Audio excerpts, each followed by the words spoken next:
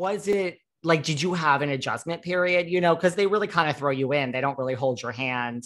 You know, sometimes you figure out what to do right away. Was it Yeah. easy for you, or were you like, what is going on? What did I get myself into? I adjusted like two months after we wrapped.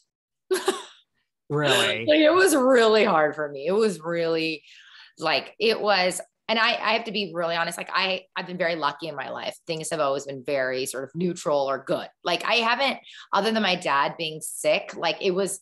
I've had a very easy time in my life, and this really threw me for a loop. I've never felt like I it.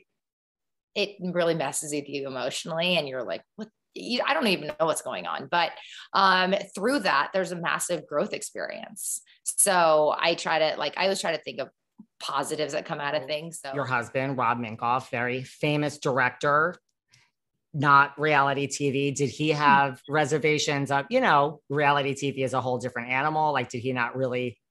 he was totally freaked out. I mean, you know, he's like, I don't want anything to happen to you, to our family, to our kids.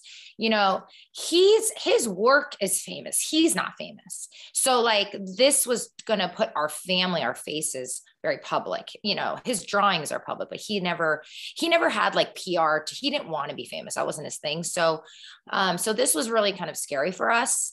Um, but at the same time, when we really dove into the whole you know the auditioning process and just um just at home talking about it, it was like maybe this is an experience that we should accept you know? But it was a family decision. And you know we called his agents and lawyers we called a lot of people like and they said it's not anything you think it is. There's you know rob you control every blink of a character. Like you have no control but you know we felt very comfortable and safe in who we are as a family so What has been the high of the whole experience for you? Like, what's the best thing from for you from the season? I would say the best thing is the nice messages that come uh, from young girls, Asian girls, just any girls of color who say, you know, how much representation matters to them, especially the Asian girls who said, There's no Asian people on TV. There's no one that looks like me. And it's crazy when I remember feeling that way when I was younger, but now we're in 2021 and they're feeling that way. It just shows you that, like, how important it is to them. And, you know, as hard it is for me to be on the show and the and the downs, um, it's an honor. And so that's been really Like, special. Do Every you worry about like being part of the show? Like, you're going to get called into court?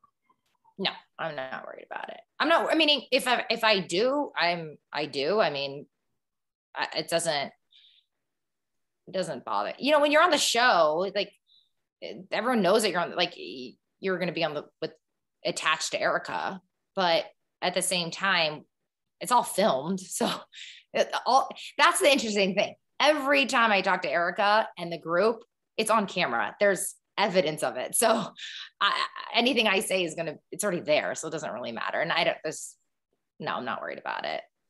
I mean, I've, you- never, I've never been deposed for something. So it's kind of interesting. it's all fascinating for me in a way. I'm not afraid of it. About what has been your biggest regret of this season? Oh my God. Which one? So much. You know, I um I think all obviously the stuff with Sutton, um, just I'm I'm reactionary and uh and I don't I don't discount like I don't I don't look back on my feelings as not real at all. You know, I mean they're they're extremely real and I know that. I just um would have taken a step back it, like I said, like it took me two months after to decompress. I wish I can, I, I'm learning to decompress more quickly and um, process things more quickly. And um, because, you know, I would have liked to have gotten to a better place with her quicker because it gets better. And then it would have helped me just on the show in general, just open up more. It just took me a long time to open up later. But there's a lot of scenes that I just posted one, someone posted that got cut of us really starting to get to know each other. And I just love those moments. And that was like in La Quinta. And so, yeah, I just wish that we got through it quicker. That's all. What about, you know, you were filming this whole thing with, you know, Erika unfolding in real time. you know, and was that hard? I mean, I know you guys have talked about this ad nauseum, but like, was that hard just being there? Like, you didn't know her. Like, I take it you didn't know Erika before the show. I just knew her from the show. Um, so I think if it was very multi-layered for me, even though I was the newest person, I didn't know her because I had this total conception of her because of the show. And then when I went on to the show, when I started filming, she was like so open, sort of the opposite sort of idea of what I thought she was. And I remember Lisa Rinna was like, oh, she's, this is not, this is a different Erika. Like she's going through a lot. I was like, oh, wow. Cause she, I think she filed for divorce like two weeks into filming. So two weeks, I met her. So she was just so vulnerable. And I was like, so I was sort of, as I'm trying to get to know everybody, I'm trying to like process that I'm meeting this person that I thought was totally different. And, you know, for me, I just pretty much the whole time we filmed, you know, even though there's a lot of questions, I couldn't let go of the fact that the main story for her was that he was possibly suffering from Alzheimer, which I had to deal with for nine years in the most horrific way, like everyone who goes through it does. So every time something was like, I wasn't sure, I was just like, but he has dementia. Like, you know, so it was really challenged. I was just, I just, my heart was so open and vulnerable to that and empathetic because I know what that was like. Did you ever say to yourself, you know, like if this were happening to you or some form of it, like would you not be on the show? Like if it were happening to you and your family? Yes. I did not, I could not believe every day I showed up, she was there. I was very surprised. I, yeah, I did not know. Yeah, totally.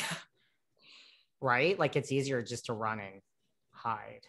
Yeah, it was very, I, yeah, I think that's why all of us were like, we can't believe, you know, we're very impressed that you're here. And, you know, like, and she's like, I'm here. And I'm like, wow, I, I don't think I could do that. What do you think is the biggest misconception of you as people watch? For sure. I've never been called cold before. Um, so that's, you know, when I'm like standing there, people are like, oh, she has like a smug face. I'm like, I'm so uncomfortable.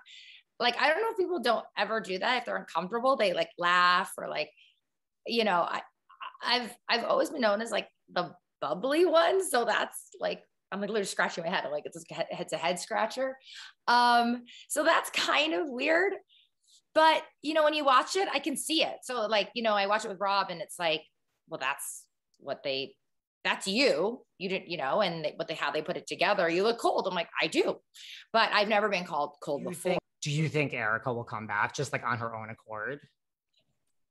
I don't. I I literally don't know. I mean, like every day that she showed up this season, I was like, wow, you know, so I have no idea. And if she wants to, she deserves a spot.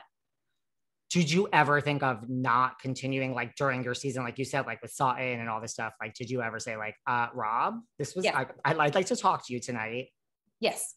Yes. I had very serious conversations about that very, very early on. Yeah, it was very tough because I, it just wasn't, it was not the start and the tone that I, I wanted, ever wanted or expected. Um, and it was very challenging for me. And I really struggled. Yes, very serious. Yeah. Yeah. Wow. But I, I'm also a very committed person. And I, you know, and that was what we discussed. It was like, you know, that's that's who I am. That's who we are as a family. We finish things. So that's what I did since you don't want to vote anyone off the island, what mm-hmm. if what if you had to bring someone back from the past? Let's take Teddi out of it since she's your buddy. You know, we could have obviously Teddi. We have well, since she's your friend, let's give her a non. Like we yes. have, you know, think of okay. all the people: LVP, Camille. I mean, I, I, don't want to lead you in any way. I'm just throwing out all the names of the I'm people. gonna say not LVP. Like, again, I don't know any of these people, but the girls seem to have a lot of issue with her. I wasn't there. I don't judge. I don't care. Um, so I'm gonna, I, I don't, you know, or maybe I don't know. That'd be entertaining for the for the audience. Um, I would. I I think I've said this before. Like Eileen was. Um, I always felt like similar to Eileen. Like Eileen's sort of responses is like how I would respond to things. Um, Yolanda as well. I felt like always like that's how I would respond. So I, I would pick people who are similar as opposed to who I would be like struggled with.